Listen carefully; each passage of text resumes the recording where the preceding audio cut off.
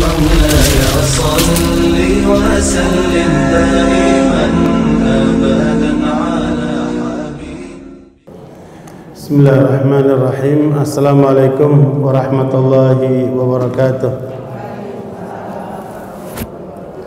الحمد لله رب العالمين ولا عقبة للمتقين ولا عدوان إلا على الظالمين والصلاة والسلام على أشرف الأنبياء والمرسلين نبينا محمد وعلى آله وصحبه أجمعين. يا أيها الذين آمنوا اتقوا الله حق تقاته ولا تموتن إلا وأنتم مسلمون. سبحانك لا علم لنا إلا ما علمتنا إنك أنت العليم الحكيم. اللهم لا سهل إلا ما جعلته سهلا وأنت تجعل الحزن إذا شئت سلاما بعد أخواتي وأخواني في الدين رحمني ورحمكم الله Bapak Ibu yang dirahmati oleh Allah SWT Pagi hari ini insya Allah kita akan mengkaji satu tema Yang sudah diumumkan perjalanan menuju Allah Karena masing-masing kita mau tidak mau sekarang sedang berjalan menuju Allah. Di dalam surat Az-Zariyat ayat yang ke-50 Allah SWT menyebutkan a'udzubillahi minasyaitonir rajim fafirru ilallah inni lakum minhu nadhirum mubin. Fafirru ilallah inni lakum minhu nadhirum mubin Pergilah kalian menuju Allah Berlarilah kalian menuju Allah Sesungguhnya aku mengingatkan ada bedih yang disiapkan oleh Allah sebagai satu peringatan yang nyata. Makanya kalau orang itu meninggal dunia, kita bilang apa? Innalillahi wa inna ilaihi rajiun. Maknanya apa? Dia sudah kembali kepada Allah. Ya, dan kita sedang dalam perjalanan menuju Allah. Tinggal apakah perjalanan kita ini mulus atau terseok-seok yang berujung kepada kegagalan. Dan ini yang tidak kita apa kita harapkan. Di dalam Sahih Muslim Rasulullah mengatakan kullu nasi ghadin fabai'u nafsahu famu'tiquha aw mubiquha. Sallallahu alaihi wasallam Nabi mengatakan setiap orang sekarang sedang berjalan menuju Allah. Apakah dia akan membebaskan dirinya ataukah akan menghancurkannya? Kalau bebas berarti maknanya dia tunduk sama Allah. Ikuti aturan Allah sampai dia selamat ketika menghadap Allah.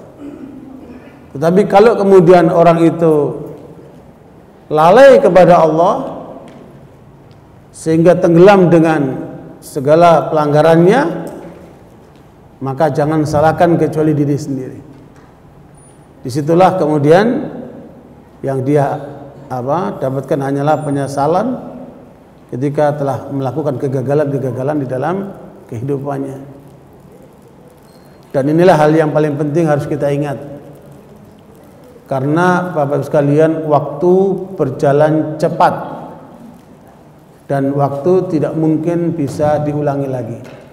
Ya mungkin kembali lagi. Ya bapak-bapak, ibu-ibu yang sudah tua-tua, rasanya apa? Kepingin balik muda lagi, tapi sudah nggak bisa. Ya, begitu cepat perjalanan waktu ini, makanya kata Nabi Isa alaihissalam bahwa perputaran siang dan malam merupakan catatan-catatan amalmu. Ya, perputaran siang dan malam merupakan apa? Catatan-catatan amalmu. Karena itu Abu Bakar Siddiq radhiyallahu anhu mengatakan ada amalan di waktu malam yang tidak bisa dikerjakan di waktu siang.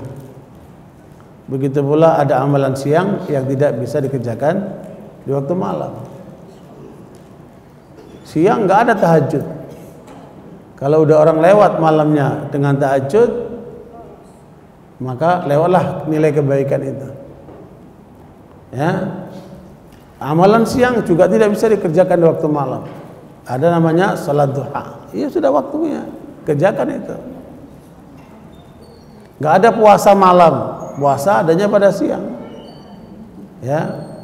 Makanya barakallahu orang yang cerdas adalah orang yang pandai menghargai waktu. Itulah yang mengapa Imam Syafi'i rahimahullah mengatakan kalau Allah tidak turunkan Al-Qur'an kecuali surat wal asr niscaya cukup buat manusia. Ya di situ intinya peringatan apa itu? Waktu asar. Ya, kita ini sebenarnya sudah sampai waktu asar. Sebentar lagi maghrib. Sebentar lagi pulang kampung.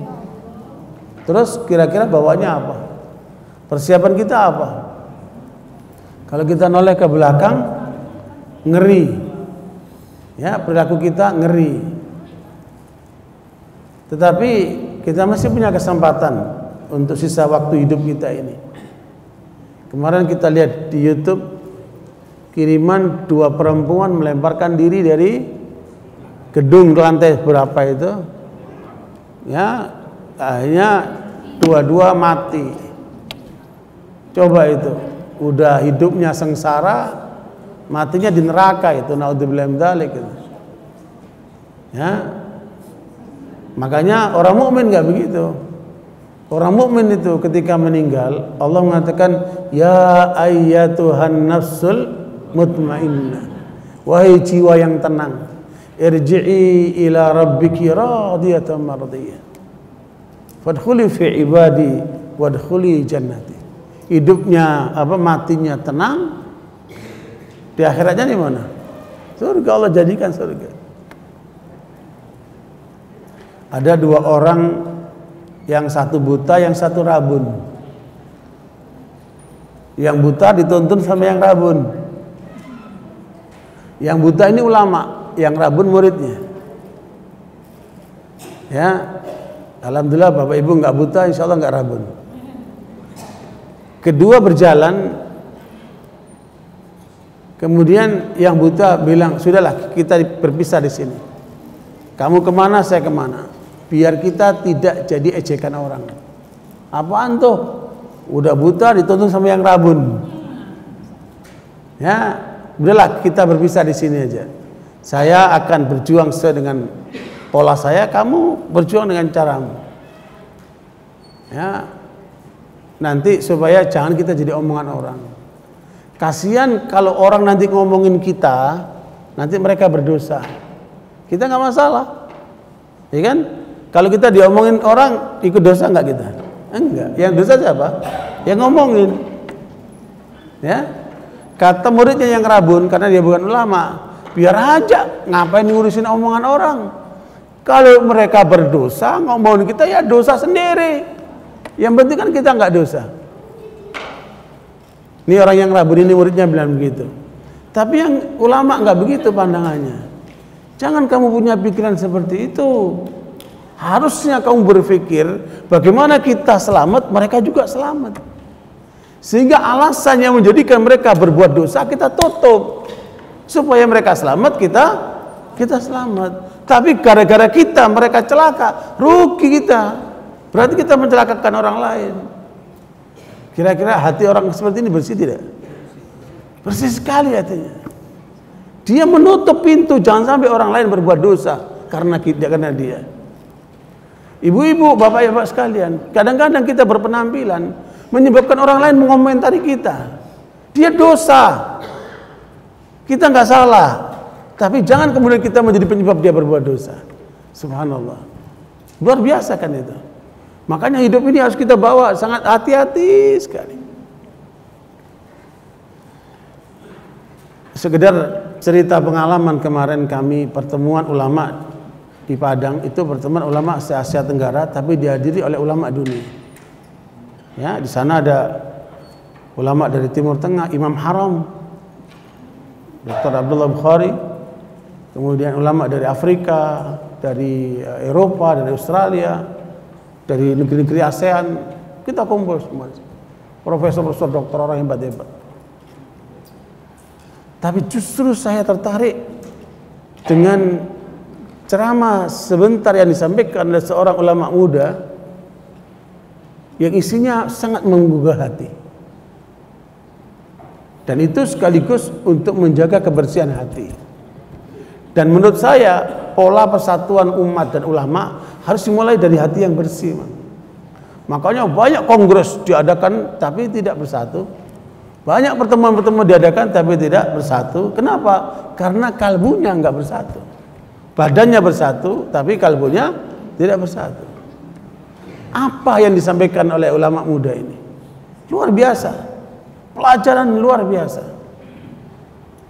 Dia menceritakan bagaimana Rasulullah SAW ketika kedatangan seorang perempuan dan beliau bersama di rumah Aisyah radhiyallahu Rasulullah servis perempuan ini, hormati perempuan ini luar biasa. Tidak seperti biasanya. Sehingga Aisyah bertanya, "Mengapa engkau ya Rasulullah menghormati perempuan ini seperti itu? Apa kelebihannya perempuan ini?" Apa jawaban Rasulullah SAW? Perempuan ini adalah wanita yang sangat cintai oleh Khadijah. Perempuan ini adalah kawan dekatnya Khadijah. Dan aku ingin membalas kebaikannya dia kepada Khadijah. Itu tandanya apa itu? Tandanya apa itu? Kesetiaan. Selalu memperhatikan jasa baik orang lain. Padahal Khadijah di mana? Sudah meninggal dunia. Dan Rasulullah sudah diganti dengan perempuan-perempuan ini istri-istri yang lain kan. Tapi Rasulullah masih ingat kebaikannya Khadijah. Dan bukan kebaikan Khadijah, tetapi orang yang berbuat baik kepada Khadijah. Inilah Islam. Inilah kesetiaan. Inilah nilai-nilai mulia yang ditanamkan oleh Nabi Muhammad SAW. Sesekalian, pelajaran inilah yang ditangkap oleh Imam Syafi'i. Sehingga beliau ketika berada bersama murid-muridnya, datang seorang Arab dari pegunungan, orang desa lah Ketika dia datang, oleh Imam Syafi'i dilepaskan itu apa namanya sorbannya di apa di apa digelar begitu orang itu suruh duduk di situ dikasih ini dikasih itu hormati luar biasa. Seperti ulama besar. Padahal dia hanya orang kampung orang desa. Sampai orang itu pulang baru Imam Syafi'i ditanya siapa orang ini wahai Imam? Kok engkau begitu hormatnya sama dia? Kata Imam Syafi'i bahwa orang ini adalah orang Arab Badui yang telah mengajarkan kepadaku satu kata. Satu kata yang tadinya saya tidak tahu diajarkan sama dia. Apa satu kata itu?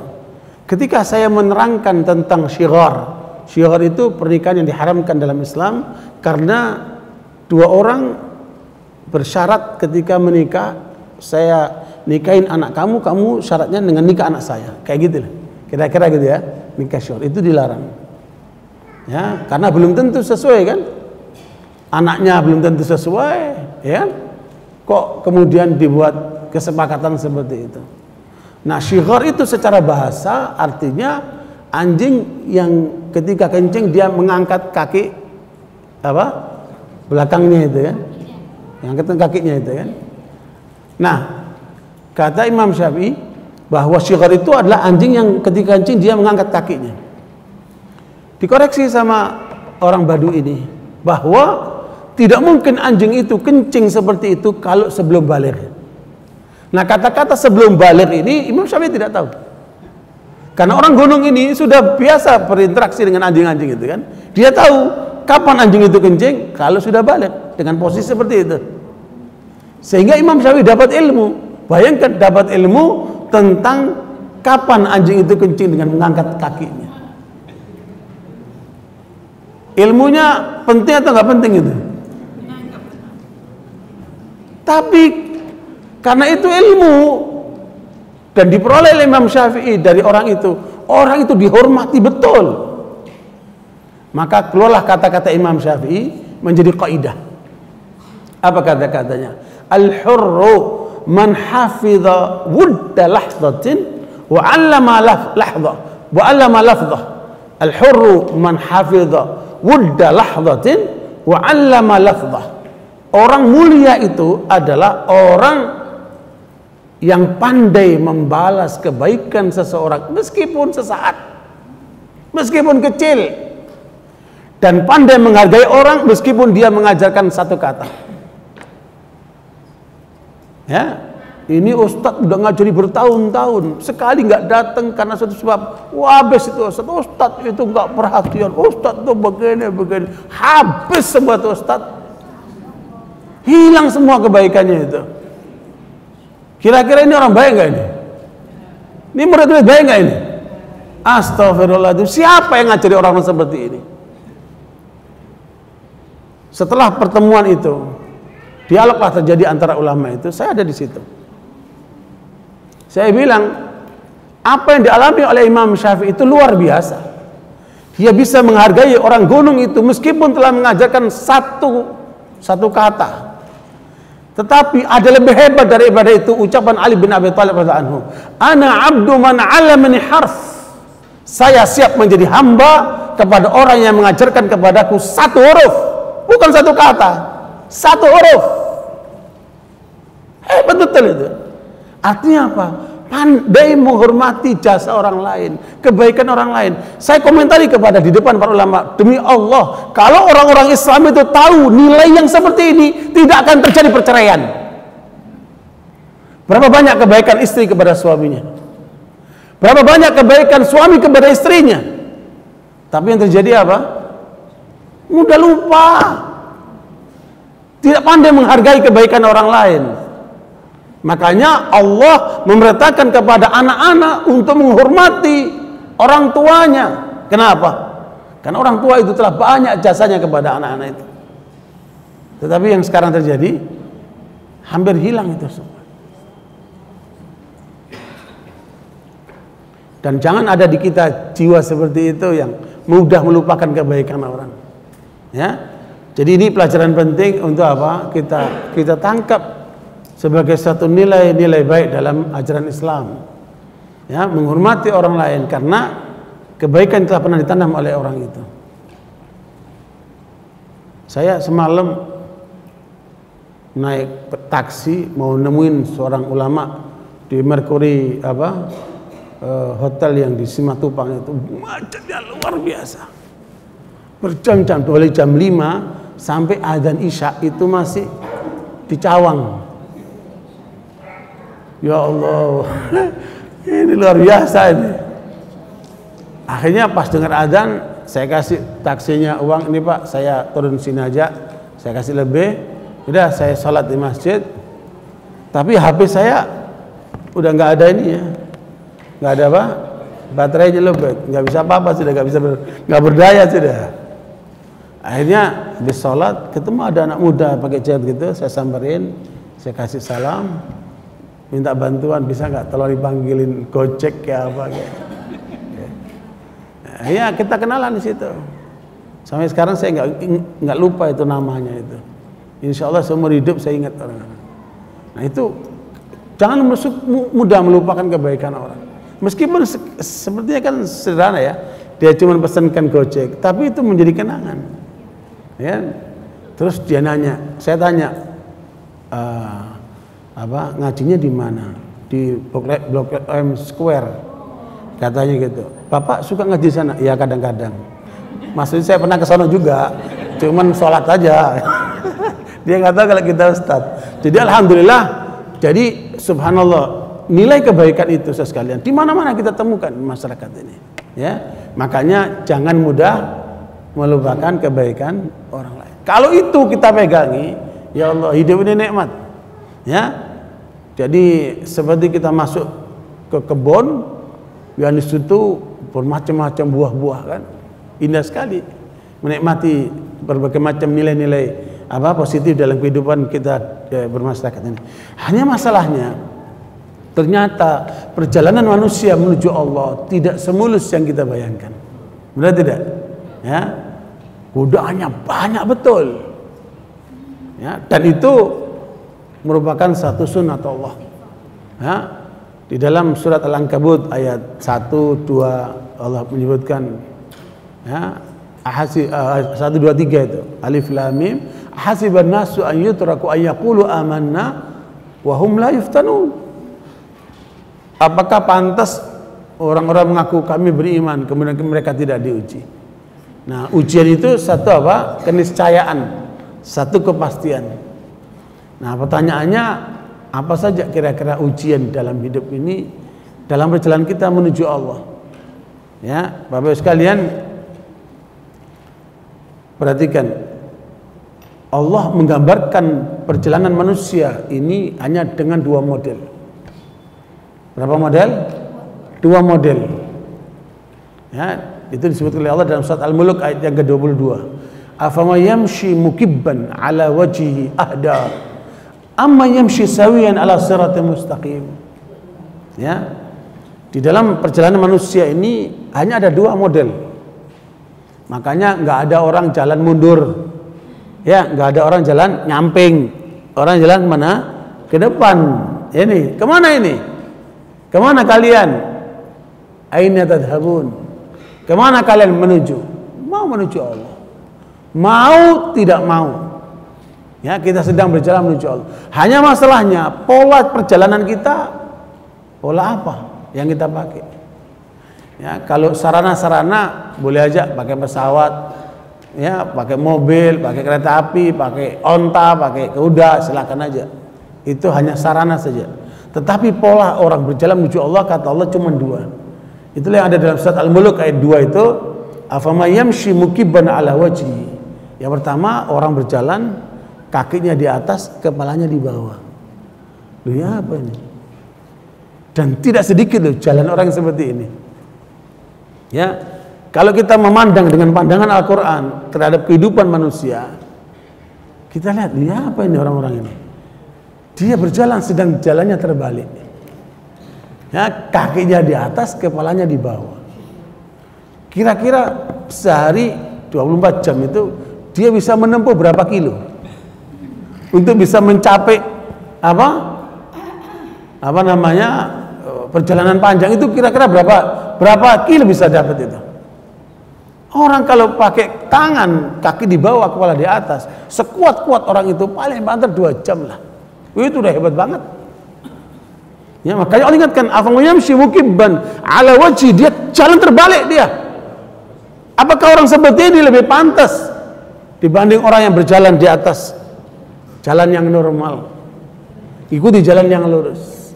Kepalanya di atas, kepala di bawah. Nah, ada dua pola manusia ini, Bapak sekalian. Nah, pola yang pertama inilah pola yang orang-orang salah jalan.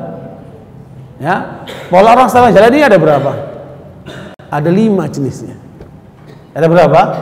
Ada lima jenisnya. Dan Bapak Ibu jangan masuk salah satu dari lima komponen ini. Yang mereka ini masuk salah jalan. Sementara yang jalan ke arah yang benar cuma satu. Itulah orang-orang mukmin. Makanya Allah puji orang-orang mukmin itu dalam Al-Qur'an. Ya, karenanya siapa lima manusia yang telah salah jalan ini? Jalannya terseok-seok, bahkan kemudian nggak akan sampai dengan pola seperti itu. Yang pertama adalah mereka yang kategori siapa? Kaum kufar Kaum kufar ini Bapak sekalian dari seluruh penduduk dunia ini menempati tiga perempat penduduk dunia. Jadi kalau ada 7 miliar lebih manusia itu tiga perempatnya itu kategori kafir. Ya, yang selebihnya itu adalah muslim. Perseperempat lah orang muslim itu. Maknanya dari empat orang di dunia ini tiga kafir, satu muslim. Ini muslim pun belum tentu muslim yang benar nih. Baru muslim saja dia. Ya. Makanya target nih, target nih Bapak Ibu, bagaimana bisa mengislamkan tiga orang? Itu target minimal. Ya, kalau kita lihat penduduk dunia ini, kita dihadapkan satu orang dengan hadap berapa? Tiga orang kafir. Nah, bagaimana kita menyadarkan mereka? Kita ajak mereka ke jalan yang benar. Kita cahayai mereka dengan Al-Quran. Karena itulah misi yang Allah berikan kepada Nabi Muhammad yang kemudian kita emban. Bagaimana kita menyelamatkan umat manusia ini. Dan itu dominasi di seluruh dunia orang-orang seperti ini. Jalannya terbalik. Lah kok diikuti nih orang kafir? Bu, anaknya siapa namanya? Nancy. Audzubillah. Bapak anaknya siapa? John. Astagfirullahaladzim. Ya apa ini? Dari mana namanya? Sampai saya ada rombongan jamaah umrah. Kamu namanya siapa? Maradona. Audzubillah. Kenapa kamu kok namanya Maradona? Bapakku suka nonton bola, jadi aku dikasih nama Maradona. Coba. Ini orang muslim. Ya. Jadi ngikuti pola orang kafir. Mulai namanya, pakaiannya, perilakunya, cara berpikirnya. Sudah ngikuti pola-pola orang kafir itu. Termasuk yang suka mengadakan peringatan hari ulang tahun. Ada nggak di sini? Happy birthday itu, fuh, ngikutin siapa itu? Terus malam tahun baru, wah keluar ke mana? Hujan-hujan, semalam suntuk di jalan bermacet-macet ria. Termasuk yang bakar-bakar ikan, ngapain? Malam tahun baru, ah sama. Subhanallah. Ngikutin siapa ini? Ngikut kaum kafir. Apalagi pola-pola kehidupan, pendidikan segala macam sekarang. Nih ada seorang menteri bilang apa? Nggak penting itu belajar agama. Yang penting belajar sains. Ma'udzubillah dalik. Ini orang nggak paham apa yang diomongkan. Dia lupa kalau dia sedang perjalanan menuju Allah. Sementara Habibie yang sudah mentok dari Mendistek gitu. Ya, sebagai manusia yang terpintar di dunia sekarang ini. 200 apa? IQ-nya itu 200. Dia sekarang baru sadar bahwa di sana ada ilmu yang lebih penting daripada ilmu-ilmu umum itu. Ada ilmu agama ini. Makanya ibu bapak sekalian jangan kita ngikuti pola-pola orang sekuler itu. Tanamkan agama yang pertama kali kepada anak dan cucu kita itu. Sebelum dikenalkan dengan matematika, fisika, kimia. Ini baru sekolah, ini budi, budi ke pasar. Terus ngapain itu budi? Ajarkan dulu Al-Quran, kenalkan mereka kepada Allah. Ya, subhanallah. Jadi banyak yang salah nih di lingkungan kita ini.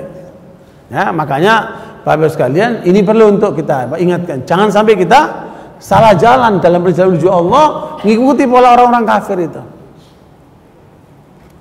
Saya heran, saya ke Eropa, saya pernah tinggal di Australia. Lihat orang-orang itu, orang-orang kafir itu.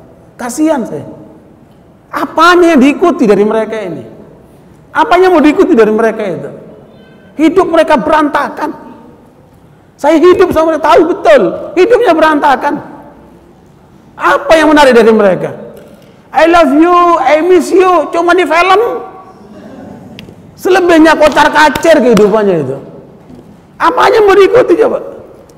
Alhamdulillah kita punya sholat, kita punya puasa, kita punya Al-Quran, kita punya doa, kita punya zikir, kita punya, wah luar biasa Islam itu. Way of life, pedoman hidup. Tidak ada ajaran agama seperti Islam. Lengkap. Lah kok orang Islam malah kurang pede dengan Islamnya. Malah ngikuti orang-orang barat itu. Apanya mau diikuti coba? Bolehlah diambil teknologinya, bolehlah diambil pola-pola yang tidak bertentangan dengan ajaran Islam, silakan aja. Tapi kemudian norma-norma, nilai-nilai, buat apa kita ambil mereka? Terus kalau minum tangan kiri, terus kalau makan berdiri standing party, buat apa itu? Kadang-kadang kita lihat orang-orang itu, ya Allah, apalagi yang kiri-kiri, udah kiri ikut orang kafir lagi, nah udah bilang dalik rugi amat orang. Aduh kadang-kadang lihat ya astagfirullahaladzim kasihan kasihan. Itu kenapa? Krisis mental. Inferiority complex rasa rendah diri. Kita harus bangga dengan Islam kita Bapak Ibu sekalian Fakuli syadu bi anna muslimun saksikan kami orang Islam tunjukkan keislaman kita jangan malah malu kita dengan menjadi orang muslim nah itu yang harus kita tampilkan kita masuk ke Kokonhof. Kokonhof itu taman bu- bunga-bunga tulip terbesar di dunia. Jutaan pohon tulip dengan berbagai macam warnanya, baunya, luar biasa. Saya masuk, Subhanallah, maha besar engkau ya Allah dengan segala kebesaranmu. Saya mau tanya, saya tanya sama jamaah yang rombongan saya. Ini pohon tulip ini begitu indahnya. Aslinya dari mana? Dari mana aslinya? Abu, ibu tertarik nggak dengan pohon tulip, bu? Luar biasa cakepnya itu. Kalau bisa ibu-ibu jadi pohon tulip semuanya. Bu, maksudnya apa? Biar diciumin terus sama suaminya itu. Wangi terus, cakep terus, gitu. Orang jauh-jauh datang ke Kekenhuf, ngapain itu? Cuman mau lihat pohon tulip. Dengan warna-warni itu. Dari mana asal usulnya pohon tulip itu? Dari mana? Dari air. Ya bu? Dari apa? Nah, kita lihat orang-orang yang datang itu banyak orang bule-bule dari seluruh dunia itu. Termasuk kita turis ikut masuk situ kan. Orang yang lihat itu cakep-cakep, masya Allah, hampir jarang lihat orang jelek. Saking cakep-cakepnya. Tapi apa yang terjadi? Saya tanya sama jamaah, ini manusia-manusia cakep-cakep dari mana asal usulnya? Dari air. Wa ja'alna minal ma'i kulla hayy. Dari air kita jadikan semuanya hidup. Tetapi apa yang terjadi dengan orang-orang itu ketika lihat wah cakep selfie. Apalagi ibu-ibu kan? Semua pohon tulip di selfie sama dia. Ya. Luar biasa. Bu, kagum dengan ciptaan Allah tapi tidak kagum dengan sang penciptanya. Ini yang orang lupa. Nah, itu pola-pola orang kafir kayak gitu. Jadi memandang segala sesuatu tidak memandang kebesaran Allah, tetapi memandang dengan ketajuban yang ada di dalam dirinya melihat sesuatu itu. Jangan kita seperti itu. Nah, ini penting untuk kita sadarkan pada diri kita. Pandanglah segala sesuatu ini dengan kebesaran Allah Subhanahu wa taala. Jelas? Ini komponen pertama orang yang jalannya terbalik. Ngapain kita ngikuti orang yang jalannya terbalik seperti itu? Ya, itu yang pertama. Yang kedua, musyrikin. Orang-orang musyrik menyembah Allah tapi juga menyembah selain Allah. La in asyrakta la yahbatanna amaluka wa la takunanna minal khasirin. Kalau kamu syirik kepada Allah, seluruh amalmu batal. Salatnya bagus, ngajinya kenceng, tapi kalau udah punya masalah perginya ke dukun. Auzubillahi min dzalik. Kalau udah buka usaha, terus minta penglaris sama feng shui. Naudzubillah min dzalik. Nah, hati-hati tuh. Oh, jangan pakai angka 13. Itu angka sial. Siapa yang bilang mengatakan 13 itu angka sial? Setan semua itu. Jangan syirik kepada Allah. Ibu-ibu, kalau di rumahnya ada kupu-kupu, ada kan? Dari mana itu coba itu kan? Nah, itu keliru semua itu. Wa syai'in khalaqnahu biqadar. Tidak ada yang terjadi di muka bumi ini kecuali dengan takdir Allah. Nggak ada kaitan dengan dengan kupu-kupu dengan semua kembali kepada Allah. Makanya pandanglah dengan pandangan Allah. Karena itu barakallahu jangan pernah syirik kepada Allah. Innallaha la yaghfiru an yushraka bihi wa yaghfiru ma duna dzalika liman yasha. Allah nggak akan mengampunkan orang berbuat syirik. Kamu lahirnya bulan apa? Oh saya Sagitarius. Oh berarti nasibmu begini nanti suamimu begini. Auzubillah.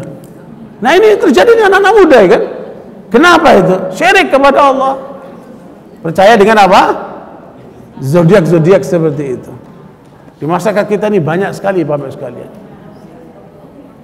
Ada penelitian yang melakukan penelitian terhadap 1001 khurafat dan apa syirik bid'ah dan sebagainya di Indonesia ini ternyata memang sumbernya dari mana itu? Kemusikan-kemusikan ini sumbernya dari mana? Makanya tokoh-tokohnya itu para dukun-dukun itu kan. Ini dari mana sumbernya? Pertama karena pengaruh animisme. Dulu manusia yang belum kenal agama itu. Yang kedua karena faktor datanya agama-agama di luar Islam itu ya Yang ketiga karena faktor pengaruh penjajah. Karena faktor apa? Pengaruh penjajah. Ini apa? Rupanya mempengaruhi sebagian orang Islam. Sehingga mudah terjerumus ke dalam kemusyrikan. Nah, ini harus kita tutup pintunya. Ya, Bapak sekalian, Allah mengatakan begini. Dalam surat Az-Zumar, "Afa ghairallahi ta'muruni a'budu ayyuhal jahilun?" Apakah kepada selain Allah kalian menyuruh aku untuk beribadah? Wahai orang-orang bodoh. Jadi orang musyrik itu Allah sebutkan apa? Bodoh. Kok minta kepada selain Allah? Kalau ada masalah terus kenyari rokidul sana. Ngapain tuh? Ya, makanya Bapak Ibu sekalian, tauhid kita harus kita jaga. Jangan sampai terlibat dengan kelompok yang jalannya terbalik seperti ini. Ngapain? Terjerumus ke dalam apa? Kemusyrikan. Ini keberapa? Yang kedua, yang ketiga. Yang ketiga orang kalau itu kalau dua orang ini kan di luar Islam ya. Kafir maupun musyrik di mana? Di mana kafir dan musyrik ini? Innal ladzina kafaru min ahlil kitab wal musyrikina fi nari jahannam khalidina fiha. Ulaika hum syarrul bariyah. Jangan ragu. Jangan ragu. Orang-orang kafir dari ahli kitab. Ahli kitab ini siapa? Yahudi dan Nasara. Ya, mereka telah diberikan Alkitab tapi mereka simpangkan. Dan orang-orang musyrik kalau mereka mati dengan keyakinannya itu, maka Allah sebutkan mereka di neraka jahanam kekal di dalamnya dan mereka adalah seburuk-buruk manusia. Makanya sebagian orang kafir itu protes. Kenapa saya dibilang kafir? Ya, ya kamu kafir karena kamu nggak yakin sama Allah. Kamu nggak yakin dengan Nabi Muhammad SAW, maka kafir. Lah kalau kamu yakin dengan Allah, yakin dengan Muhammad, bukan kafir lagi. Jadi mereka tersinggung pak disebut kafir pak. Karena Allah menyebutkan mengatakan seperti itu. Ya kul ya ayyuhal kafirun la a'budu ma ta'budu. Ya. Karena itu barakallahu Nah, itu istilah yang paling tepat buat mereka karena mereka ingkar kepada Allah atau ingkar kepada ajaran Islam atau ingkar kepada Nabi Muhammad SAW. Meskipun begitu, kita ini umat Islam adalah manusia yang paling toleran. Makanya kita bilang mereka, jangan ajarkan kalian, jangan ajarkan kita untuk bertoleransi. Kenapa? Ya, kita ini umat Islam jagonya toleransi. Ya, mereka kafir dengan Nabi Muhammad, nggak mau ngakuin kebenaran Islam, tapi kita ngakuin Nabi Musa, nabinya orang Yahudi. Ya, ngakuin Nabi Isa, nabinya orang Nasrani. Kita akuin. Itu apa itu? Oh, toleran luar biasa. Ngakuin Nabi mereka, tapi mereka nggak mau ngakuin Nabi kita. Berarti mereka tidak toleran itu. Kalau mereka toleran, masuk Islam semua itu Pak. Ya. Jadi ternyata mereka tidak toleran. Kita yang sangat toleran itu. Karena itu Barakallahu sekalian, ini dua kelompok manusia yang gagal. Gagal hidup, gagal akhiratnya. Kenapa? Nah, itu. Itulah yang kata Allah di dalam surat Toha ayat 124. Faman a'radu an dzikri fa inna lahu ma'isyatan danka wa nahsyuruhu yaumal qiyamati a'ma. Qala rabbi lima hasyartani a'ma wa qad kuntu basira. Qala kadzalika atatka ayatuna fanasitaha wa kadzalika al-yauma tunsa. Ya, mereka yang berpaling dari jalannya Allah. Ya? Dari mengingat Allah. Dari ajaran Allah. Maka hidupnya akan gelap gulita. Saya yakin meskipun mereka rumahnya mewah kayak Donald Trump itu jabatannya tinggi di mana-mana dihormati itu hidupnya menderita itu. Karena mereka jauh dari Allah. Terputus sama Allah itu jaminan dari Allah. Siapa yang berpaling dari ajaran Allah pasti hidupnya gelap gulita. Makanya mereka suka bilang tahu ah gelap, tahu ah gelap. Jangan kita ikut-ikutan dengan mereka itu. Hah? Itu pola mereka. Kalau kita enggak selalu terang, alhamdulillah. Ya? Tuh. Siapa yang berpaling dari ajaran Allah pasti Allah jadikan hidupnya mereka gelap gulita dan di akhirat mereka akan apa? Digiring dalam keadaan buta. Mereka bertanya, "Ya Allah, mengapa engkau kami kau- kami digiring bahwa eh, em, tertutup mata seperti ini ya, buta seperti ini?" Maka Allah katakan dulu ketika kamu hidup, kamu melek, kamu dibacakan ayat-ayat Allah, sementara kamu berpaling, sekarang kamu dipalingkan oleh Allah SWT. Jadi ini orang sengsara dunia, sengsara akhirat. Ini dua manusia. Yang ketiga, orang muslim yang terpengaruh dengan orang kafir. Orang muslim yang terpengaruh dengan orang musyrik, maka jadilah munafik. Kelompok kedua apa? Ketiga apa? Munafikun, kelompok orang munafik. Orang munafik itu orang yang muslim tapi terpengaruh dengan pola orang-orang kafir, orang-orang musyrik. Makanya di, di Mekah nggak ada orang munafik ibu. Ketika Rasulullah dakwah di Mekah tidak ada orang munafik. Kenapa? Ya, karena tidak terpengaruh dengan kaum Yahudi. Tapi ketika Rasul di Madinah muncul orang munafik itu. Jadi pengaruh munafik ini dari mana bu? Dari kaum Yahudi. Ini biang kerok kemunafikan itu ditanam oleh kaum Yahudi. Makanya di Mekah nggak ada orang munafik. Adanya di mana? Di Madinah. Ya, makanya Bapak sekalian di dalam surat Al-Munafiqun itu Allah terangkan panjang lebar sifat orang munafik, tetapi ujungnya ayat ke-9 Allah ingatkan kepada kita, ya ayyuhalladzina amanu la tulhikum amwalukum wala auladukum an dzikrillah wa may yaf'al dzalika faulaika humul khasirun. Hai orang beriman, jangan kalian dilalaikan oleh harta dan anak sehingga lupa sama Allah. Ya, berarti memang yang paling banyak melalaikan manusia itu apa? Harta dan anak. Lihatlah, orang kalau cari harta biasanya apa? Tidak kenal waktu, tidak tahu halal haram. Ya, semuanya ditembus sama dia. Dan gara-gara anak banyak orang jadi pelit. Mendingan buat anakku, nggak mau sedekah dia. Gara-gara anak jadi penakut, tidak mau membela Islam. Gara-gara anak jadi sibuk, tidak melaksanakan sholat berjamaah. Ada nggak kayak gitu? Nah, itu. Kenapa ya tadi itu? Terpalingkan dari Allah karena pengaruh harta dan anak. Kadang-kadang meeting-meeting sampai lewat sholatnya. Kenapa? Ngejar proyek, ngejar dunia. Ya, Bapak Ibu sekalian, makanya Allah ingatkan itu, jangan sampai kalian apa? menterjerumus dalam kelompok yang ketiga ini, kaum munafikin. Dan orang munafik itu, Bapak sekalian,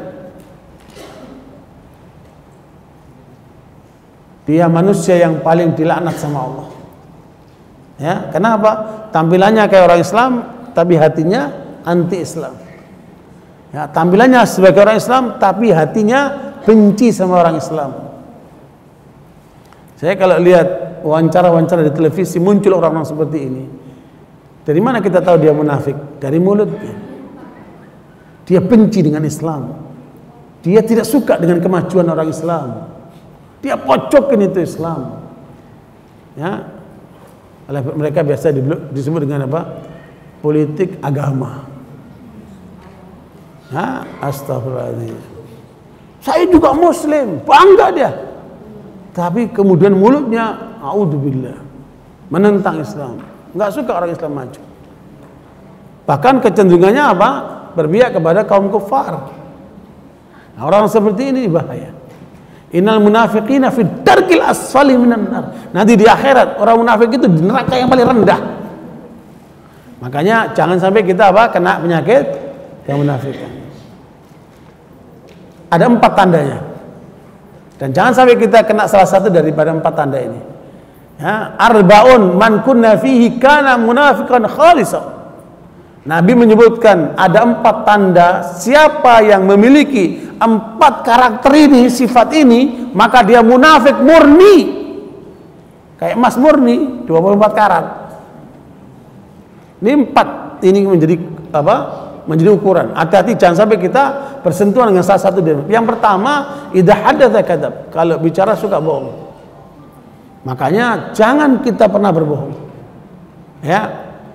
Anak-anak kita, cucu kita itu harus diperingatkan jangan pernah bersentuhan dengan kebohongan. Dan ingatkan mereka, jangan kamu bergaul dengan orang bohong. Karena kebohongan itu adalah apa? Jalan kehancuran menuju neraka itu. Iya kawal kadib wa inna kadiba yahdi ilal fujur wa innal fujur yahdi ilan nar.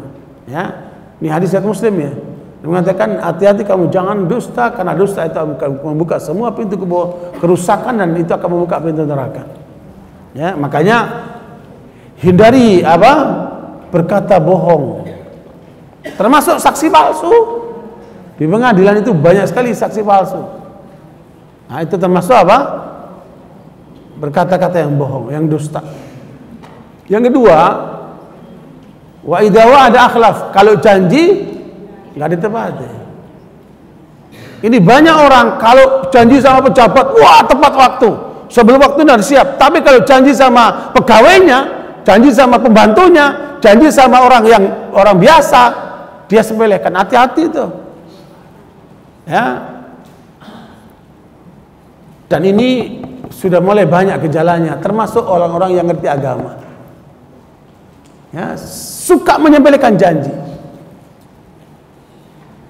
Janji untuk ngajar, tapi dengan enaknya diputuskan untuk tidak ngajar, dialihkan ke tempat yang lain karena di sana amplopnya lebih besar. Ini bahaya ini. Kan udah janji. Kenapa dibatalin?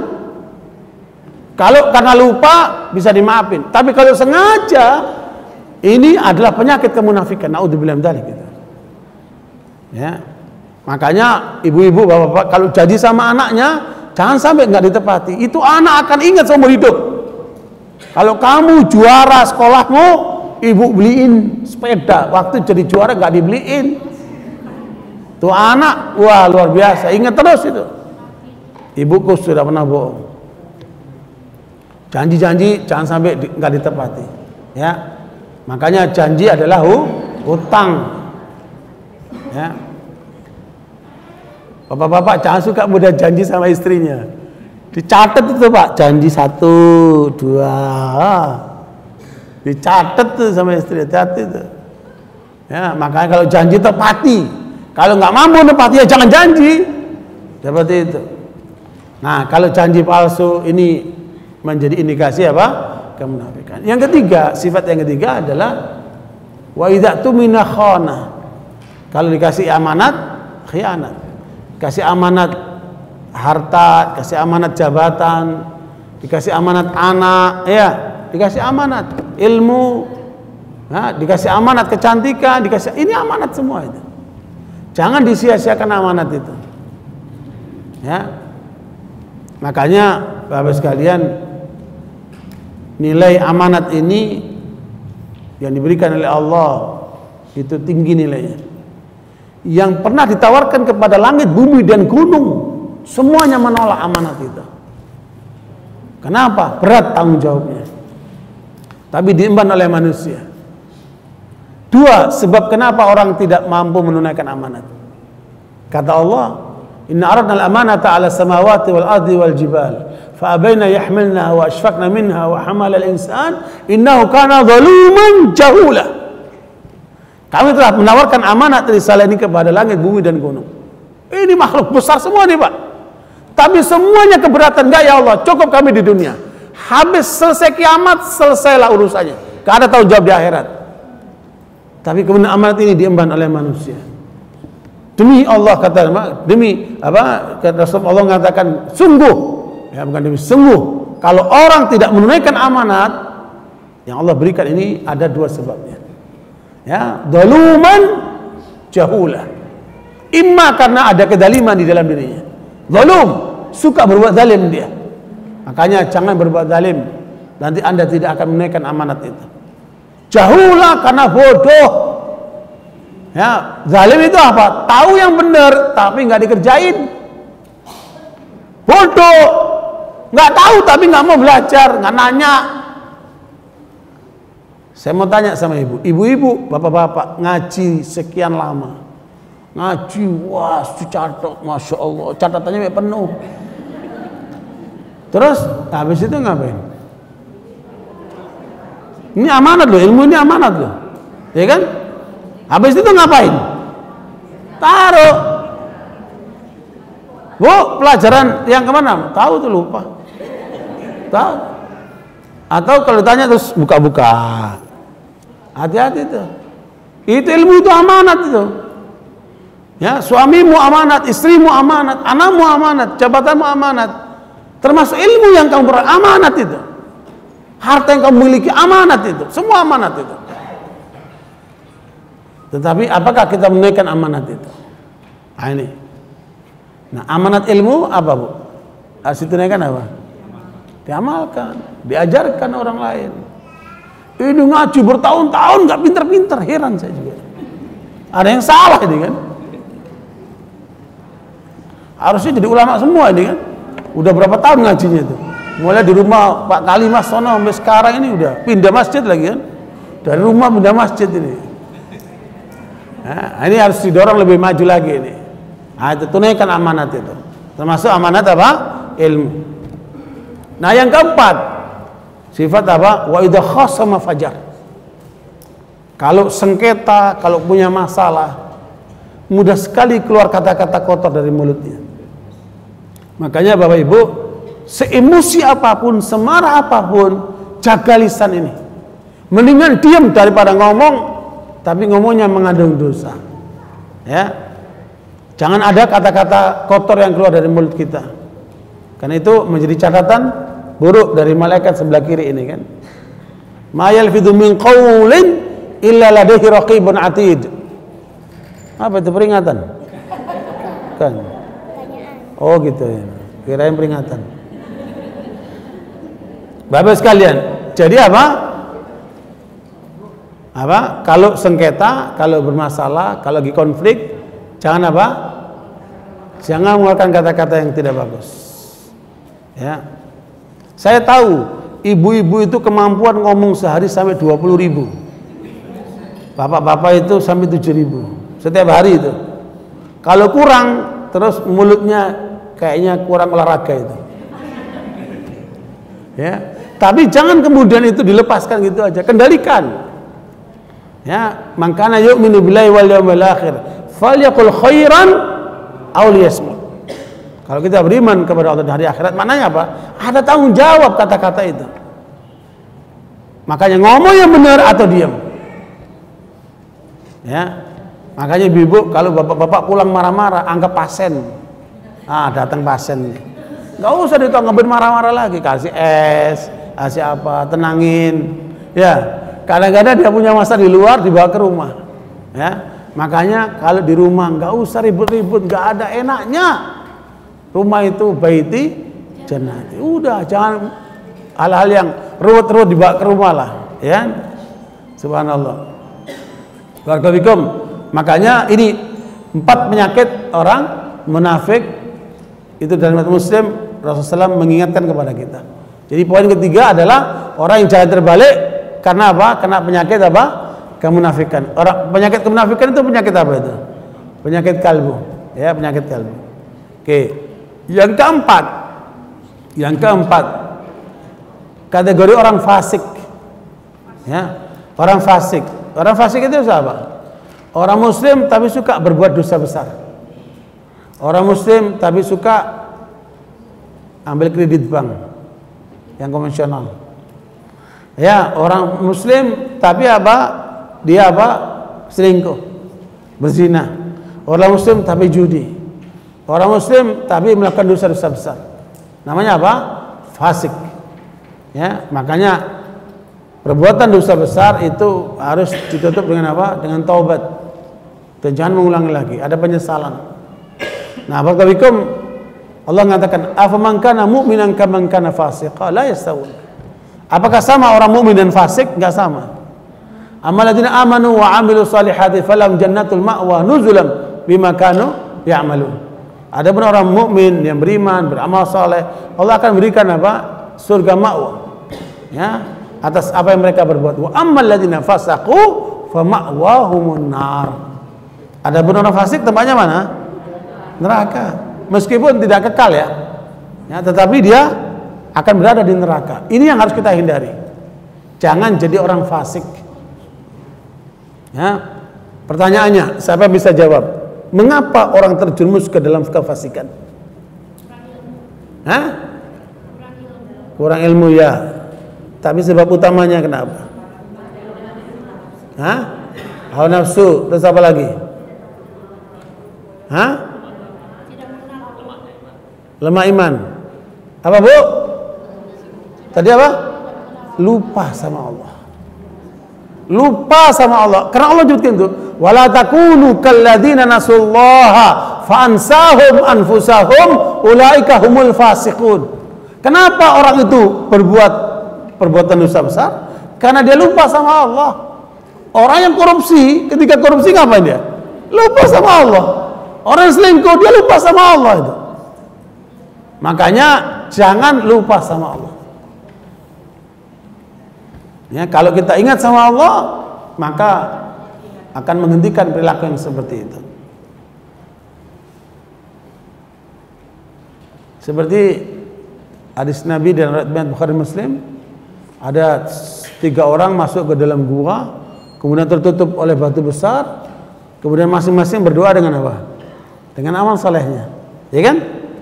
Yang satu berbakti sama ibunya, ya. Yang satu sebagai orang yang telah berbakti kepada pegawainya, berkhidmat kepada pegawainya. Yang satu apa? Lelaki yang berkesempatan untuk menzinai sepupunya sendiri, tapi kemudian dia ingat sama Allah dia hentikan. Ya kan? Nah, itu nilai positif. Sebab setiap orang dimungkinkan untuk berbuat dosa. Ya kan? Karena terbuka itu. Tetapi yang penting punya rem. Nah, remnya itu apa nih? Ingat sama Allah. Makanya Bapak Ibu, kalau anaknya mau kuliah, ya, suaminya mau kerja, cukup ingatkan satu, jangan lupa sama Allah. Hati itu saja. Jangan lupa sama Allah. Sebab kalau dia ingat sama Allah ketika dengar adzan ngapain? Salat ya. Lah ini udah dengar adzan, sayang jangan lupa makan. Makan yang diingetin astagfirullahaladzim. Otaknya tuh makan aja tuh. Gimana itu coba? Orang bukan diingetin sholat, diingetin makan. Udah dia kalau lapar pasti makan deh. Yang diingetin apa? Sholatnya itu.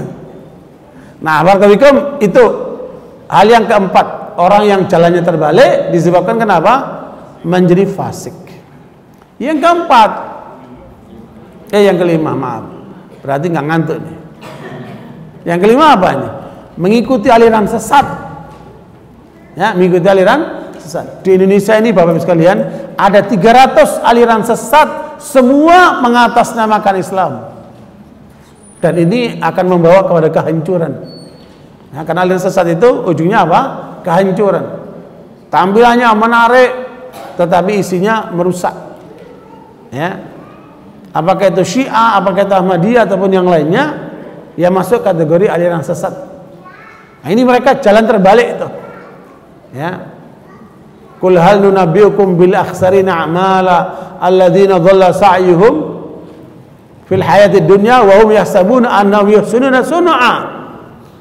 Tidakkah kamu ingin kuberitahukan kami beritahukan kata Allah mereka yang telah rugi kehidupannya pada mereka menganggap sudah berbuat baik yang luar biasa.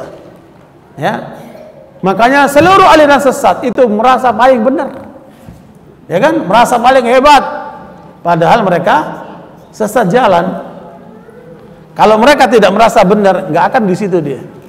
Ya. Makanya Bapak Ibu sekalian, ini yang harus kita sadari, jangan sampai kita terbawa kepada aliran sesat. Jadi ada berapa? Ada lima. Ya. Ya, coba Bu sebutin lima kelompok menyimpang ini, Bu. Yang jalannya terbalik. Jangan lihat. Nah, kafir. Terus musyrik, terus munafik, terus fasik, terus senangnya keroyokan begini, Pak. Gimana? Ya, yang penting jangan lupa nih ya. Ini semua ini jalannya terbalik. Ya. Kalau bahasa Al-Qur'an itu disebut dengan sabilul mujrimin. Apa? Sabilul mujrimin itu yang ada dalam surat Al-An'am ayat 55. Wa kadzalika nufassilul ayati walitastabina sabilul mujrimin. Demikian kami terangkan ayat-ayat kami supaya jelas siapa yang berjalan di atas kejahatan-kejahatan dosanya itu. Jazakallahu khair. Iya. Jazakallahu khair. Ya. Barakallahu Jadi apa? Disebut dengan apa? Sabilul mujrimin.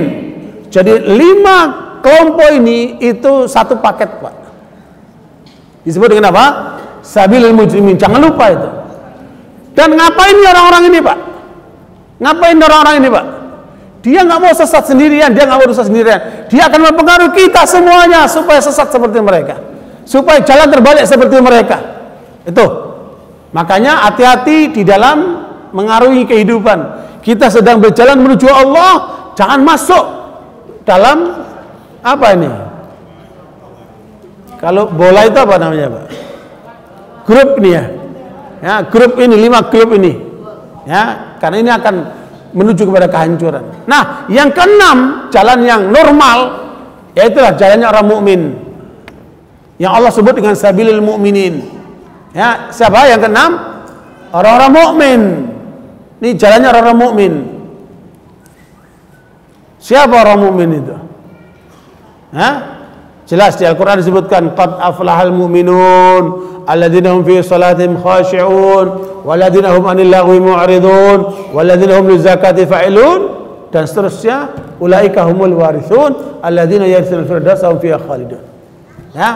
Orang-orang mukmin itu hidupnya itu selalu terkait dengan Allah sampai mereka masuk firdaus itu, surga firdaus itu. Nah, ini yang harus kita ikuti. Yang sholatnya khusyuk, yang jauh dari yang main-main yang sia-sia, yang kemudian apa? menunaikan zakatnya dan seterusnya. Itu ayat apa surat Al-Mu'minun 1 sampai 11 itu menjelaskan tentang posisi kriteria orang mukmin. Kita nggak bahas itu karena akan panjang. Apalagi pertanyaan udah banyak banget nih. Ini maknanya suruh cepat pulang nih. Bapak Ibu sekalian, jadi itu jalannya orang mukmin, kaum mukminin ini yang kemudian harus kita ikuti. Nah, panduannya apa ini? Surat An-Nisa ayat 115.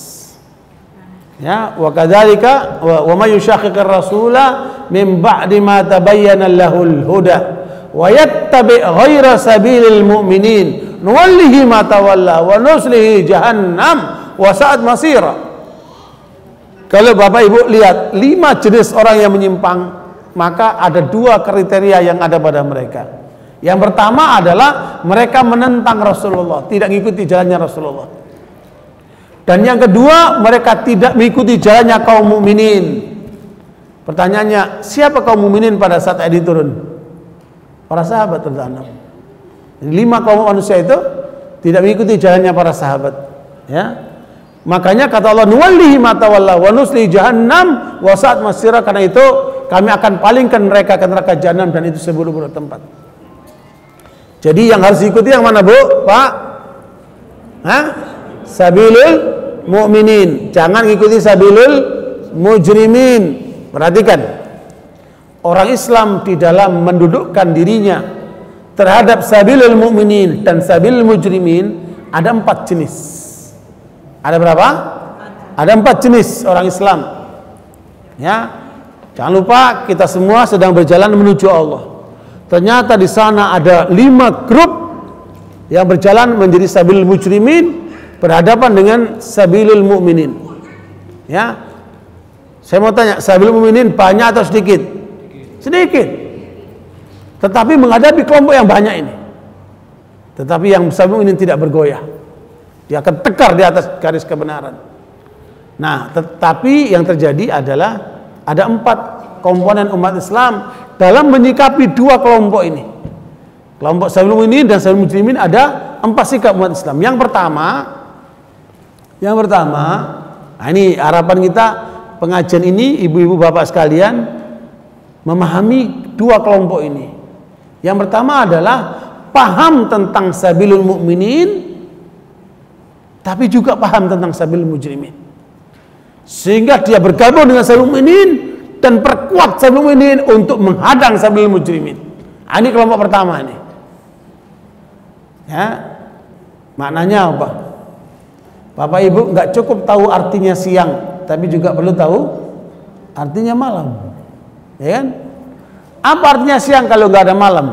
Ya, Bapak Ibu tidak akan tahu artinya siang kalau tidak ada malam. Benar tidak? Makanya Allah menyebutkan alhamdulillah alhamdulillahilladzi khalaqas samawati wal ardi wa ja'ala dhulumati wan nur. Thumma alladziina kafaru bi rabbihim ya'dilun. Segala puji bagi Allah yang menciptakan langit-langit dan bumi dan menjadikan kelap-kelap gulita. Kelap-kelap gulita disebutkan dalam bentuk plural, jamak, banyak. Tetapi ketika menyebutkan cahaya, Allah menyebutkan cuma satu. Maknanya apa? Kebenaran cuma cuma satu. Nah ikuti yang satu itu. Dan hadang yang kelompok mujrimin itu. Makanya dalam hidup ini ada apa? Tarik menarik. Bahkan sampai bertempur antara hak dan batil. Seperti yang terjadi di Palestina kemarin. Bagaimana Israel, negeri Israel, Yahudi itu berusaha untuk menguasai apa? Masjid Aqsa. Sementara kaum mukminin ingin mempertahankan Masjid Aqsa. Kalaupun harus mengorbankan nyawanya. Laki maupun perempuan, mereka berjuang untuk mempertahankan Masjid Aqsa. Nah, itu gambaran seperti itu. Dan itu terjadi di semua lini, Pak. Rebutan itu terjadi di semua lini. Termasuk di negeri kita ini dahsyat. Coba perhatikan. Siapa yang berada dalam sabil mukminin dan siapa dalam barisan sabil mujrimin. Ini terus akan bergesekan, akan tarik menarik. Nah repot kalau suaminya kafir, istrinya muslimah. Coba itu. Coba itu. Makanya dilarang dalam Islam kan? Karena apa? Dia akan dikuasai sama si kafir.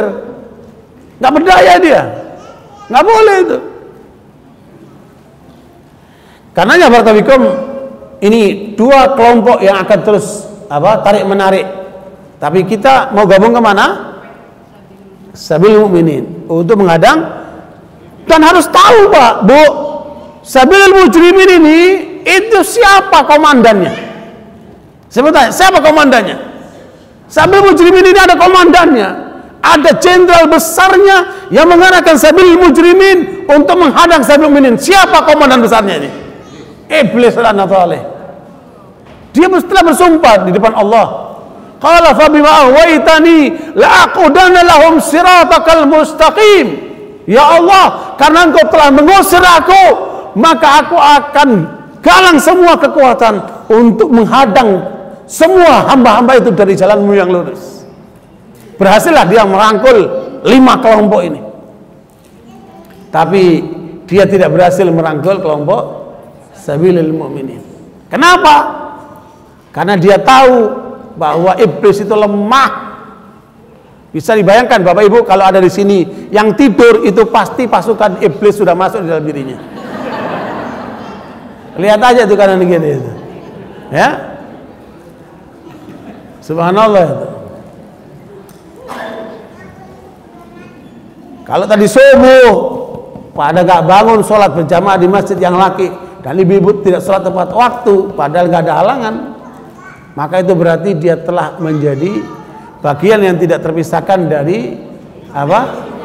Ah, iblis itu naudzubillah Nah itu, makanya kelompok yang pertama sadar dia di posisi berada di tengah-tengah sabil mukminin untuk menghadang sabil mujrimin. Jangan underestimate. Oh, saya tidak punya musuh. Jangan bilang begitu. Orang yang mengatakan dia tidak punya musuh ada majnun. Kenapa? Karena Allah menyebutkan inna syaitan lakum adu fattakhidhu aduwa. Syaitan itu musuhmu. Jangan kamu jadikan Setan itu kawan, jadikan dia musuh. Lah kalau jadi kawan gimana ceritanya? Ngaji. Jangan jadikan kawan setan. Audzubillah minasyaitan. Lawan itu. Singkirkan dia. Begitu. Nah, emosi-emosi marah-marah semua dari setan semua. Semua pertikaian, keributan semuanya setan. Saya kemarin ditanya sama ibu-ibu di pengajian lain. Pak Ustadz, saya heran kenapa kok suami istri suka berantem, keluarga berantakan, yang cerai, kenapa itu semua itu? Saya tanya, ibu berantem nggak sama suaminya? Enggak, alhamdulillah. Ibu cerai? Enggak, alhamdulillah. Nah, bagus. Tapi kamu tahu kenapa kok mereka berantem seperti itu? Karena setan. Ya, membuat kekacauan ini semua setan. Nah, kalau kita jauh dari setan, aman kita, tentram kita. Jelas Bu? Pak, jadi apa tadi? Kelompok yang pertama sadar tentang sabil mu'minin, tapi sadar juga tentang sabilul mujrimin. Yang kedua, paham tentang sabilul mu'minin, tapi nggak urusan dengan sabilul mujrimin. Yang penting saya sholat, yang penting saya ngaji, yang penting saya baik, yang lainnya nggak urusan. Ah, ini bakal kena sasaran dari sabilul mujrimin ini. Ada kelompok kedua, pasif dia. Dia bagian daripada sabil mu'minin, tetapi dia nggak urusan dengan sabil mujrimin. Ya, nggak mau tahu dia. Masa bodoh dia. Orang, -orang seperti ini bakal kena jebakan sabil mujrimin tidak? Dia bakal kena dia. Makanya kita harus tahu siapa lawan kita.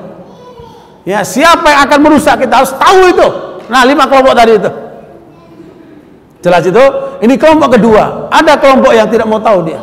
Pokoknya dia mau benar saja. Tapi kebatilan nggak mau tahu dia. Rugi orang seperti ini. Ya, maknanya dia maunya hidupnya siang aja nggak ada malamnya. Mana bisa? Ya, orang hidup cuman siang aja nggak ada malamnya mana bisa itu? Ya, makanya kata Umar Khattab, la ya'riful Islam man lam ya'rifil jahiliyah. Enggak paham Islam kalau orang tidak paham jahiliyah. Ya, enggak paham artinya siang kalau tidak paham artinya malam seperti itu. Jadi harus juga paham sabilul.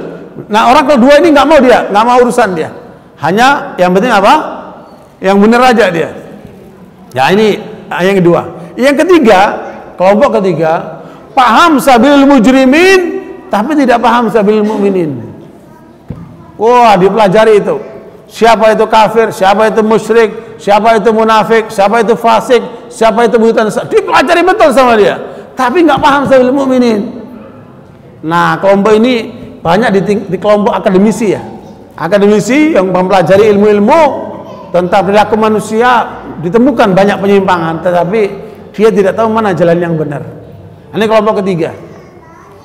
Jadi paham tentang sabil mujrimin, tapi tidak paham sabil Kenapa? Nggak ngaji dia, nggak belajar dia.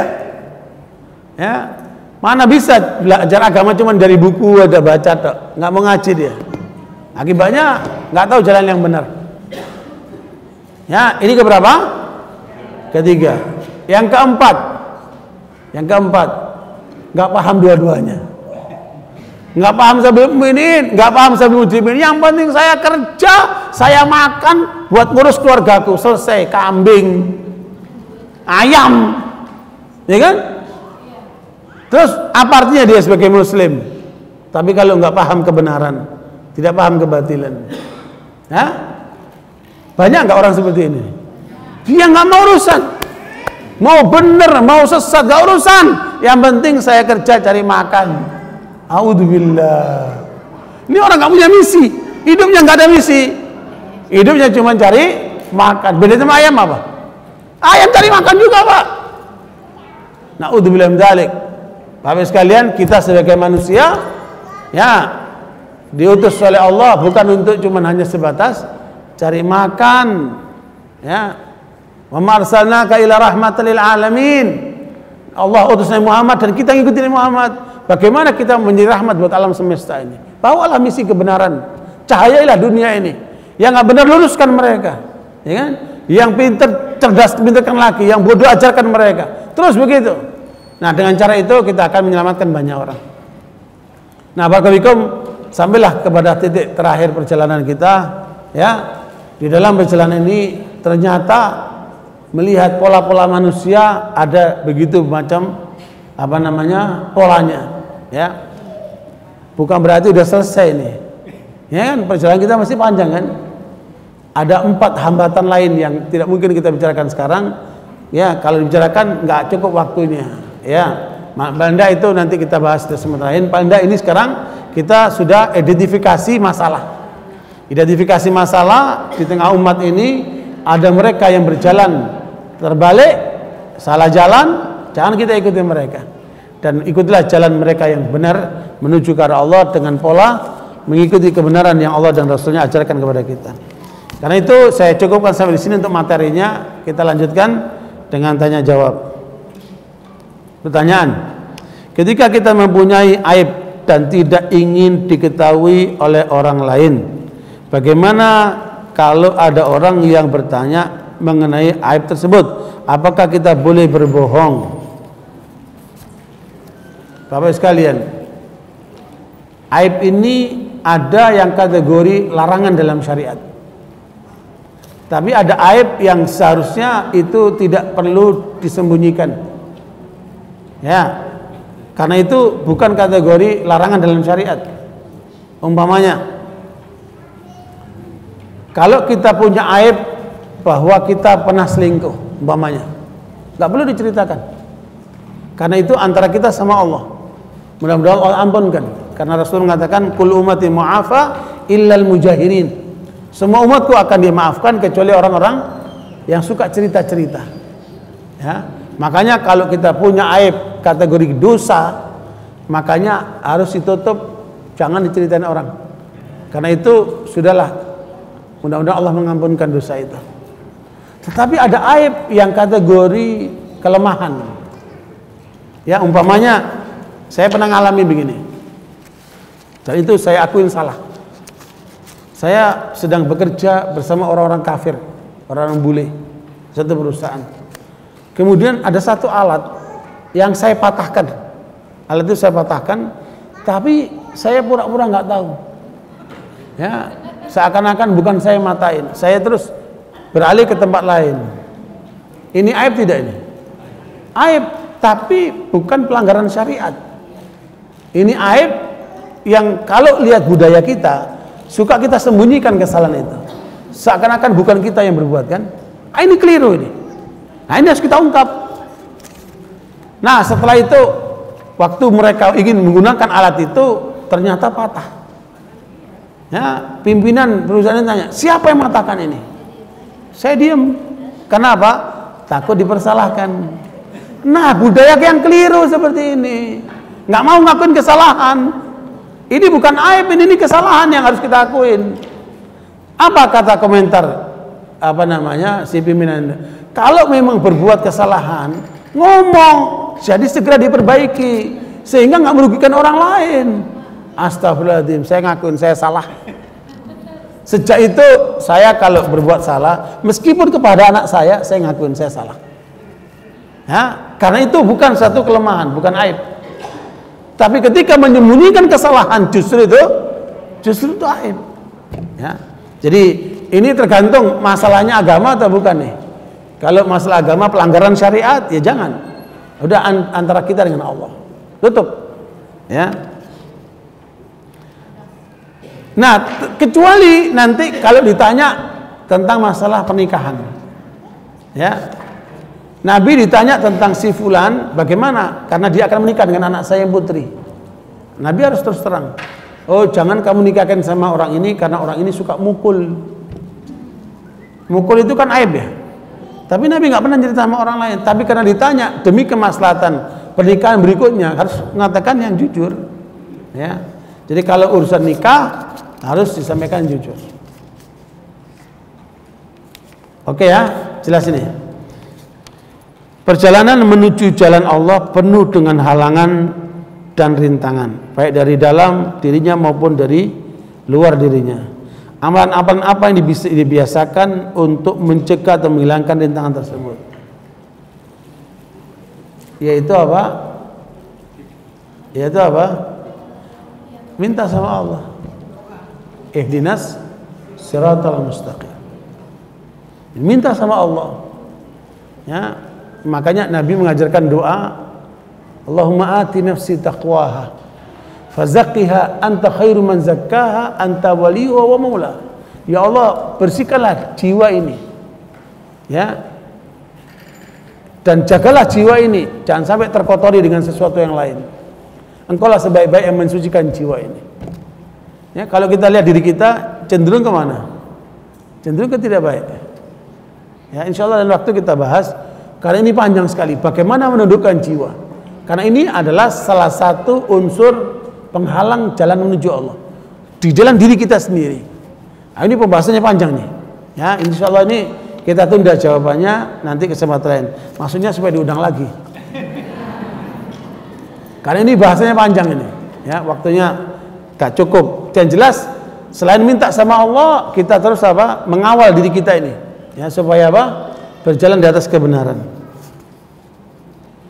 Ketika orang mati lalu dikuburkan di tanah, apakah siksa kubur itu dilakukan di dalam tanah atau di atas langit karena rohnya apa sudah diangkat ke langit? Ya, saya juga belum ngalami. Bu, ini sudah masuk kategori alam gaib. Ya. Tidak boleh berbicara tentang alam gaib kecuali harus pakai ilmu.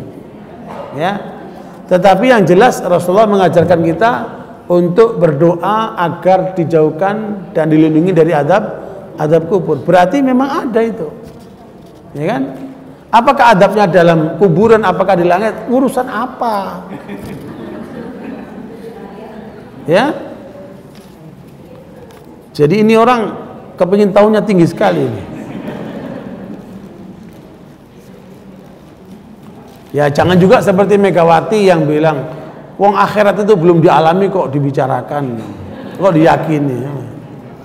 Ya udah nanti alaminya aja sendiri sama. Maka itulah pentingnya agama. Agama ini termasuk menjelaskan apa yang menjadi manusia tidak tahu tentang alam gaib kan. Allah Maha tahu tentang semua itu. Ustaz, jika seorang hamba mengajarkan sholat empat rakaat sebelum sholat asar, maka ini maka ia akan terhindar dari api neraka. Apakah sholat sunnah tersebut dilakukan setiap asar atau sekali-kali lalu sholat sunnah empat rakaat langsung atau dua-dua? Jadi gini, ini adalah sunnah ghairu muakkadah. Ya. Jadi sholat sunnah itu ada dua kan? Qabliyah dan ba'diyah masuk kategori muakkadah atau ghairu muakkadah. Ya muakkadah ada berapa? 12. Ya Pak? Dua rakaat sebelum subuh. Ya, empat rakaat sebelum duhur. Dua rakaat setelah duhur. Kemudian dua rakaat setelah maghrib dan dua rakaat setelah isya. Jadi berapa? 12. Dalam kitab Sirru Quwwatul Fatihah, rahasia di belakang kekuatan Al-Fatihah itu Dr. Ibrahim Dues menyebutkan rahasia yang perlu diingatkan bahwa ternyata Al-Fatihah itu mengandung 29 kata. Di Al-Fatihah itu ada berapa? 29 kata. Itu mengisyaratkan supaya kita baca Al-Fatihah sehari 29 kali. Nah, 17 kali itu dilaksanakan dalam sholat-sholat yang wajib, dan 12 kali dilaksanakan dalam salat-salat sunnah muakkadah. Maknanya apa? Jangan tinggalkan sehari membaca 29 kali surat Al-Fatihah melalui salat-salat itu, ya. Nah, kemudian ada salat-salat sunnah ghairu muakkadah termasuk ini. Sunnah qabliyah sebelum asar. Ya, sunnah qabliyah dua rakaat sebelum maghrib. Itu semua kategori apa? Ini semua motivasi, Bu. Ya, motivasi supaya orang selain menjalankan sunnah apa tadi? Muakada tapi juga menjalankan sunnah apa? Wairu muakada ya. Dijalankan empat rakaat atau dua rakaat? Ya dua-dua. Ya dijalankan apa? Dua-dua. Mana yang lebih utama? Puasa sunnah Daud puasa atau puasa sunnah Senin Kemis? Ya mana lebih utama? Puasa sunnah Daud puasa Senin Kemis puasa sunnah yang mana yang Nabi SAW sering lakukan? Bu Nabi menyebutkan puasa yang paling bagus adalah puasa Daud. Ya puasa yang paling bagus adalah puasa Daud. Qiyamul Lail yang paling bagus Qiyam Qiyamul Lail yang contohkan oleh Nabi Nabi Daud. Begitu pula rizki yang paling bagus rizki yang dicontohkan Nabi Daud. Apa rizkinya? Dihasilkan dari tangannya sendiri ya jadi Nabi telah menetapkan puasa yang paling bagus adalah puasa Nabi Daud. Kenapa? Sehari puasa, sehari tidak. Kalau Senin Kemis kan enggak. Masih ada jeda waktu berapa hari ya? Ya enggak puasa. Ya? Ya kadang ini kadang itu. Jangan jangan apa namanya jadikan patokan. Tergantung kesempatan. Ya. Ibu-ibu kan nggak ikut perang. Rasulullah ikut perang juga, memimpin perang 27 kali, ya kan? Yang jelas ketika Nabi menganjurkan itu yang lebih baik. Ya. Kalau ada sahabat atau keluarga kita mengundang ulang tahun, bagaimana kita menyikapinya? Ya jangan datang. Kalau bisa mengingatkan, apa, menyadarkan bahwa itu nggak ada dasarnya.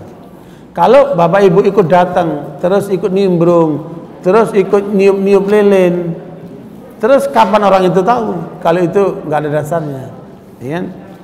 Jadi paling bagus ya nggak datang, nggak ikut kita. Kenapa? Ah berterangin, saya nggak datang karena itu nggak ada dasarnya dalam syariat. Bahkan itu mengikuti pola agama lain.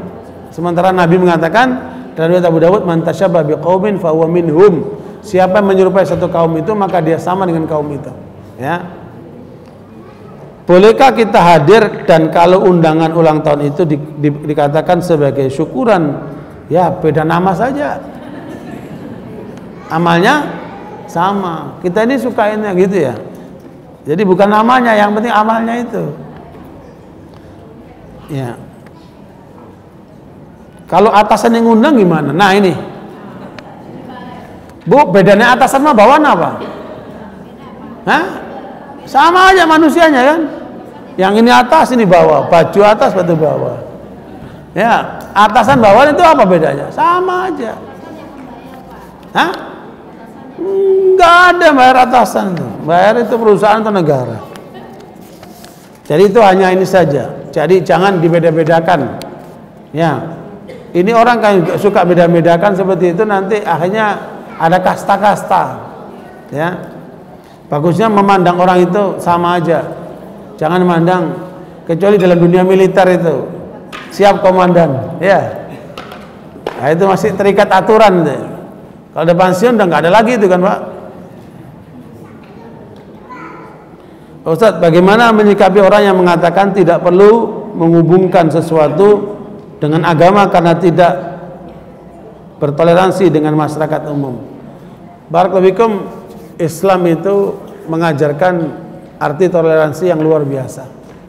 Lakum dinukum waliyadin. Mana ada toleransi lebih daripada itu? Silakan saja. Agama kalian silakan, agama kami jangan dicampur adukkan. Nah, ketika kita disuruh mengucapkan apa selamat Natal kepada agama lain. Nah, ini masalah kan? Berarti sudah ada interagama ini. Padahal landasan dalam Islam toleransi itu ada lakum dinukum waliyadin, masing-masing dengan keyakinannya. Jangan dicampur-campurkan. Nah, ini yang masalah ini. Jadi toleransi itu bukan mencampur adukkan agama. Toleransi itu menghargai masing-masing dengan keyakinannya. Itulah namanya toleransi. Jadi sering kali keliru arti toleransi, ya. Jadi agama jelas. Kita sholat kita, puasa kita, eh, apa zakat kita, doa kita, zikir kita, jangan dicampur aduk dengan zikirnya mereka, dengan doa mereka, dengan segala macam mereka. Masing-masing dengan keyakinannya. Ya, itulah arti agama. Makanya la ikraha fid din, tidak ada paksaan dalam beragama. Sudahlah kalian beragama dengan keyakinan mereka, kita berkeyakinan dengan keyakinan kita.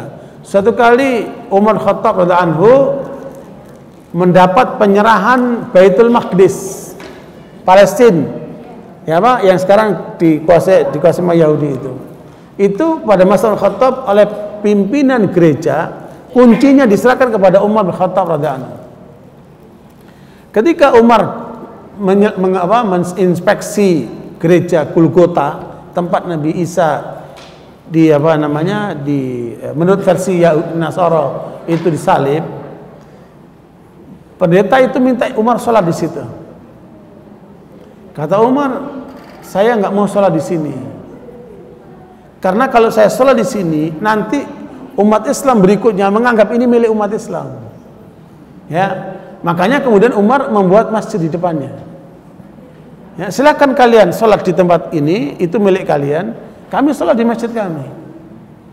Umar menolak untuk sholat di situ. Kenapa? Jangan sampai nanti orang Islam yang ke depan memahami ini milik umat Islam. Ya, makanya oleh Umar diberikan kesempatan. Silakan kalian ibadah dengan cara kalian. Ada nggak toleransi seperti itu? Coba ketika Andalusia diserang sama orang-orang apa ini atas nama gereja. Terjadi inkuisisi, pembantaian umat Islam, penghancuran milik umat Islam dahsyat itu. Dan itu sejarah. Makanya tidak ada toleransi seperti yang dialami oleh umat Islam. Agama lain aman. Ya, tidak diganggu. Tapi ketika mereka menang, kita selalu diganggu. Timur Timur itu dulu ada 10 lebih itu masjid di sana.